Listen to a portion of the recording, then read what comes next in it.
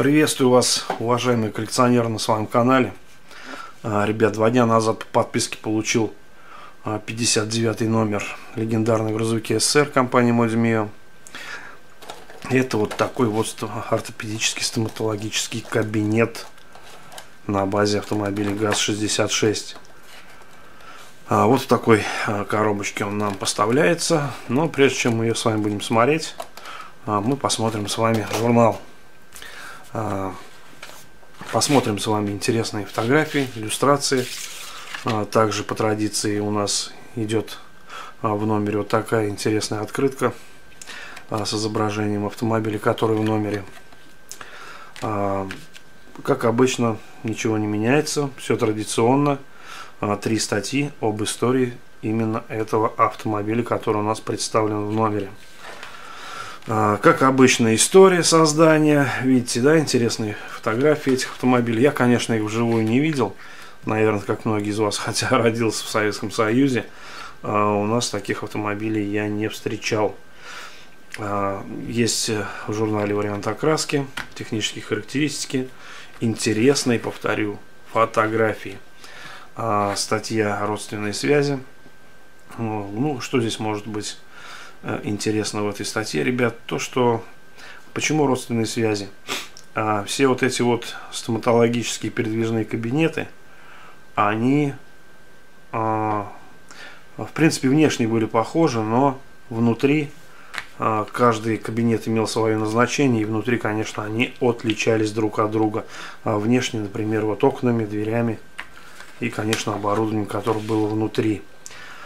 Армейский след автомобиля нам говорит о том, что еще а, производились разные а, медицинские, а, ну, медицинские автомобили для армии на разных базах автомобилей ГАЗ-66, например, здесь вот Урал у нас нарисован, вернее сфотографирован.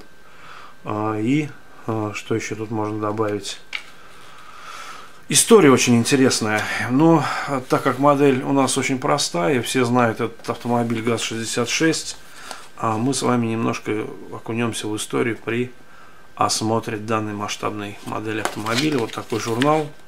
А, кстати, 60 номер а, будет у нас автоцистерна 8 на МАЗе автомобиль МАЗ-500А безопасность и надежность тоже у нас будет открытка. Мы с вами обязательно будем смотреть а, и 60 номер. Ну а пока 59 номер, КСП 2001, добрый доктор.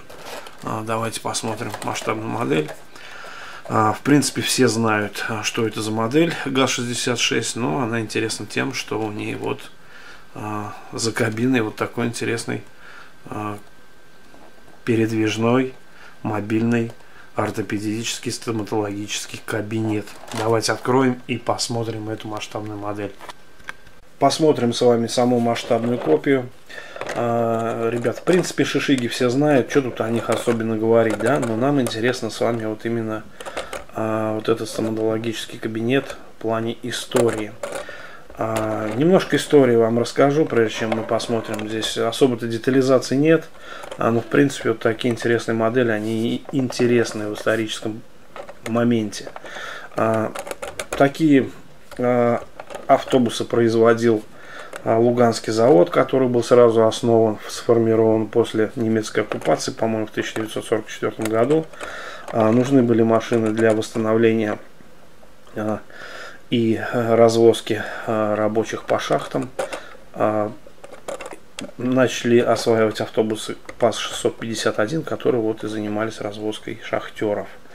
А, ну и, конечно, Луганский завод освоил а, вот такие кабинеты. В нашем случае это стоматологический кабинет. Внутри он был разделен на две секции. Одна часть была для медперсонала, другая для а, самого доктора. Ну, конечно, там было размещено разное медицинское оборудование. А, фургон был а, вот такой цельнометаллический, сварной, утеплен был. Двери у него были взаимозаменяемые. И вот такие вот машины ездили на удаленные, удаленные уголки нашей страны. А почему на ГАЗ-66? Ну, в те времена дорог особо-то у нас и не было. Да и сейчас, конечно, сеть дорожная, она не особо-то развита. А, и что интересно мне, а, я узнал из журнала, что вот к таким автомобилям цеплялся прицеп электростанция. Вот мне странно, почему компания Mozimio не выпустила в комплекте вот такой прицеп электростанции к данному автомобилю. Он же без него никак не может, в принципе, как это у нас описано в журнале, в историческом моменте. Что касается вот детализации, ну здесь детализация самая простая. На будке что тут у нас вот такой вот кронштейн с запасным колесом, такой вот поручень на боковой двери. Изготовлен этот кабинет в нашем случае из пластика, ну я имею в виду а, вот этот вот масштаб 43 а, кабина металлическая. По детализации сами видите, а, очень все неплохо, хорошая детализация, хоть модель и очень простая, ребят. А, посмотрим с вами, конечно же, снизу. Ну, это обычный ГАЗ-66, который вот был оборудован таким вот кабинетом. А, в принципе, заглядывать внутрь я не вижу смысла. Наверняка он пустой, там ничего нет. А, как видите, окна у нас вот так вот они либо закрашены, либо занавешены. Ну, остается только гадать. Скорее всего, это были занавески.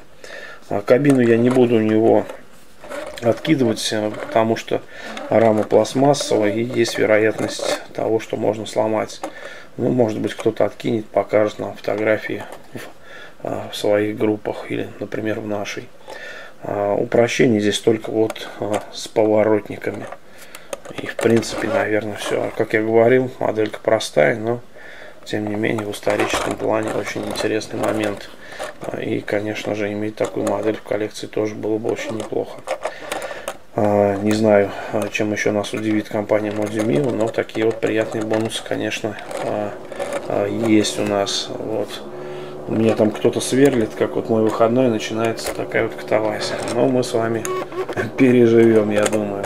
В принципе, все, ребят. А, я думаю, что модель будет а, достойно жить в вашей коллекции. Конечно, если вы сделаете свой выбор, приобретете. А чтобы это сделать, я вам, конечно, оставлю ссылку а, в описании к данному видео. Жаль, жаль, что нет прицепа электростанции, а так, конечно, очень неплохо, очень хорошая модель. Проходите по ссылке, заказывайте. Мы с вами увидимся в 60 номере. Посмотрим с вами МАЗ Автоцистерну. Пока всем.